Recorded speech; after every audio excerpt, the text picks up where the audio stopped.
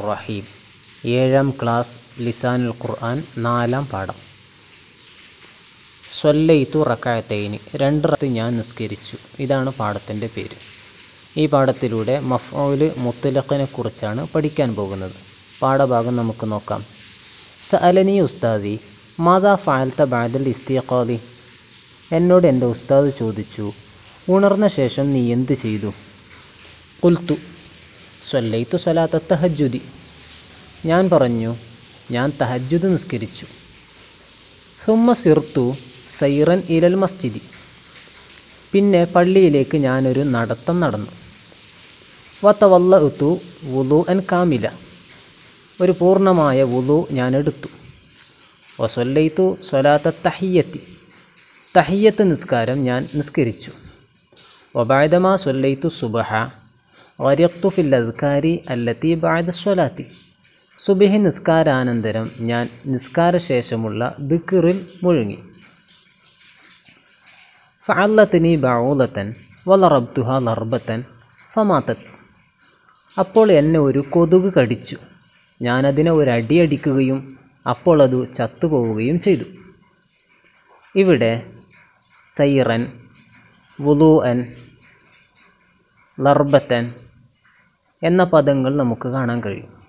ഈ പദങ്ങളെ മഫോയിൽ മുത്തലഖ് എന്ന് പറയുന്നു. മഫോയിൽ മുത്തലഖ് എന്ന് പറഞ്ഞാൽ അൽ മഫോയിലുൽ മുത്തലഖു ഇസ്മുൻ മൻസൂബുൻ റുക്കിറ ബായദ ഫിഅലിഹി ലിബയാനി നൗഇൽ ഫിഅലി ഔ ലി തഅക്കീദിൽ ഫിഅലി ഔ ലിബയാനി അദദിഹി. ഒരു വാക്യത്തിന്റെ ക്രിയയെ ഊന്നിപ്പറയുന്നതിനോ അതിന്റെ രൂപമോ എണ്ണമോ വിവരിക്കുന്നതിനോ വേണ്ടി ആ ക്രിയാധാതുവിൽ നിന്ന് തന്നെ രൂപം കൊള്ളുന്നതും ക്രിയയ്ക്ക് ശേഷം വരുന്നതുമായ മൻസൂബായ നാമത്തിന് അൽ മഫോയിലുൽ മുത്തലഖ് എന്ന് പറയുന്നു. ഒരു വാക്യത്തിലെ ക്രിയയെ ഊന്നിപ്പറയുന്നതിനോ അതിന്റെ രൂപമോ എണ്ണമോ വിവരിക്കുന്നതിനോ വേണ്ടി ആ ക്രിയാധാതുവിൽ നിന്ന് തന്നെ രൂപം കൊള്ളുന്നതും ക്രിയയ്ക്ക് ശേഷം വരുന്നതുമായ മൻസൂബായ നാമത്തിന് അൽ മഫോയിലുൽ മുത്തലഖ് എന്ന് പറയുന്നു. ഉദാഹരണങ്ങളിലൂടെ നമുക്ക് മനസ്സിലാക്കാൻ കഴിയും. ചില ഉദാഹരണങ്ങൾ നമുക്ക് നോക്കാം. ഹാഫത്തി തിഫിലത്തു മീനൽ ഹയ്യത്തി ഹൗഫൻ പെൺകുഞ്ഞ് പാമ്പിനെ കണ്ട് ഒരു പേടി പേടിച്ചു. ഇവിടെ ഹൗഫൻ എന്നുള്ളത് മഫോലും മുത്തലക്കാണ് ഹാഫത്തി എന്ന പേടിച്ചു എന്നുള്ള പദം പറയുകയും ഒന്നുകൂടി ഊന്നി പറയാൻ വേണ്ടി ഹൗഫൻ എന്ന് അവസാനം പറയുകയും ചെയ്യുന്നു. ഇതിനെയാണ് മഫോലു മുത്തലഖ് എന്ന് പറയുന്നത്. നലറ റജുലു അതുവഹു നലുറത്തൽ ഓലബി പുരുഷൻ തന്റെ ശത്രുവിനെ ദേഷ്യത്തിന്റെ നോട്ടം നോക്കി. ഇവിടെ നലറത്ത എന്നുള്ളത് മഫോയിൽ മുത്തലഖാണ് നലറ റജുലു നലറ നോക്കി എന്ന പദം ആദ്യം വന്നു. അതിനെ ഒന്നുകൂടി ഊന്നി പറഞ്ഞുകൊണ്ട് നലറത്തൽ ഓലബി എന്ന് ഒന്നും കൂടി പറഞ്ഞു ഇതിനെ മഫൂലു മുത്തലഖ എന്ന് പറയും. ഫറ സാരിഖു ഫിറാറൽ മൗത്തി കള്ളൻ മരണ ഓട്ടം ഓടി. ഫിറാറ എന്നുള്ളത് മഫോയിൽ മുത്തലഖാണ്. ഫാസ ഫരീഖുൻ ഫിൽ മുബാറാത്തി ഫൗസൽ ഫറഹി മത്സരത്തിൽ ഒരു സംഘം ആഹ്ലാദ വിജയം വിജയിച്ചു. ഇവിടെ ഫൗസ എന്നുള്ളത് മഫോയിൽ മുത്തലഖാണ്. യഅകുലുൽ ഖിർദു അൽ മൗസ അഖിലതൻ. കുരങ്ങൻ പഴം ഒരു തീറ്റ തിന്നു. ഇവിടെ അക്കിലത്തൻ എന്നുള്ളത് മഫോയിൽ മുത്തലക്കാണ് ചില പദങ്ങളെ പൂരിപ്പിച്ച് പൂർത്തിയാക്കാം. വാചകങ്ങളാക്കി മാറ്റാൻ വേണ്ടിയാണ് താഴെ കൊടുത്ത ചില പദങ്ങളെ പൂരിപ്പിക്കാൻ വേണ്ടി നൽകിയത്.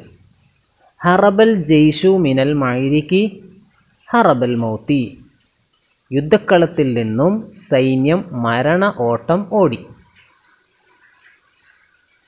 ഇവിടെ ഹറബ എന്നുള്ളത് മഫോയിലു മുത്തലക്കാണ് കത്തല സൈലബു അദ്ദീക കച്ചിലൻ. കുറുക്കൻ കോഴിയെ ഒരു കൊല്ലൽ കൊന്നു. ഇവിടെ കച്ചിലൻ എന്നുള്ളത് മഫോയിലു മുത്തലക്കാണ് യദ്ബഹുറജുലു അദ്ദജാജത്ത റബ്ഹൻ പുരുഷൻ കോഴിയെ ഒരറുക്കൽ അറുത്തു. റബ്ഹൻ എന്നത് മഫോലു മുത്തലക്കാണ് യഖർ ത്വാലിബു അൽ ജരീദത്ത മറത്തൈനി വിദ്യാർത്ഥി പത്രം രണ്ടു തവണ വായിച്ചു. മറത്തൈനി എന്നുള്ളത് മഫോലു മുത്തലക്കാണ് ചില ഉദാഹരണങ്ങൾ താഴെ നൽകിയിട്ടുണ്ട്. ആ ഉദാഹരണങ്ങൾ ഏത് വിഭാഗത്തിൽപ്പെട്ടതാണ് എന്ന് കണ്ടെത്താം. ഫതഹൽ ഖാദിമു അൽ ബൗവാബത്ത വേലക്കാരൻ ഗേറ്റു തുറന്നു. ഇവിടെ അൽ ബൗവാബത്ത എന്നുള്ളത് മഫ്ഊലും ബിഹിയാണ്. മഫ്ഊലു ബിഹിയുടെ ഉദാഹരണമാണ്. സാർത്തി സയ്യാറത്തു സൈറൽ അർബത്തി. കാറ് ശക്തമായ ഓട്ടം ഓടി. ഇവിടെ സൈറ എന്നുള്ളത് മഫ്ഊൽ മുത്തലക്കാണ് കാമൻ നാസു മിനൽ മജ്ലിസി ഇജിലാലൽ ലിൽ ഖാദി. ഖാദിയെ ബഹുമാനിക്കാൻ സദസ്സിൽ നിന്ന് ജനങ്ങൾ എഴുന്നേറ്റു. ഇവിടെ ഇജിലാലൻ എന്നുള്ളത് മഫ്ഊലു ലഹുവാണ്. റഅയ്ത്തുൽ ഫുലൂസ ഐന്ദൽ ഖനിയി ധനികന്റെ പക്കൽ ഞാൻ പണം കണ്ടു. ഇവിടെ ഐന്ദ എന്നുള്ളത് മഫോലും ഫീഹിയാണ്. യൻസുറുൽ ഖനിയു അൽ ഫക്കീറ ഹുബല്ലില്ലാഹി ലില്ലാഹി. അള്ളാഹുവിന്റെ താൽപ്പര്യം മുൻനിർത്തി ധനികൻ ദരിദ്രനെ സഹായിക്കുന്നു. ഇവിടെ ഹുബ്ബൻ എന്നുള്ളത് മഫ്ഊലു ലഹുവാണ്.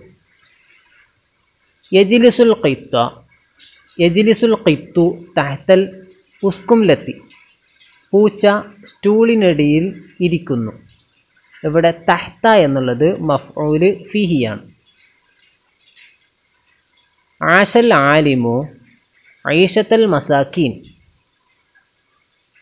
ജ്ഞാനി ദരിദ്ര ജീവിതം ജീവിച്ചു. ഇവിടെ ഐഷത്ത് എന്നുള്ളത് മഫ്ഊൽ മുത്തലക്കാണ് പാഠം വായിച്ച് മനസ്സിലാക്കുകയും പാഠത്തിലെ പഠന പ്രവർത്തനങ്ങൾ കൃത്യമായി പഠിക്കുകയും നോട്ടിൽ എഴുതുകയും ചെയ്യുക. ഒരു പാഠം വായിക്കുമ്പോൾ അതിനു മുമ്പുള്ള പാഠവും കൂടി വായിക്കാൻ ശ്രമിക്കുക. പാഠത്തിൽ നിന്ന് നിങ്ങൾക്ക് മനസ്സിലായ പോയിന്റ്സുകൾ കുറിപ്പായി പ്രത്യേകം നോട്ടിൽ എഴുതി വെക്കുക.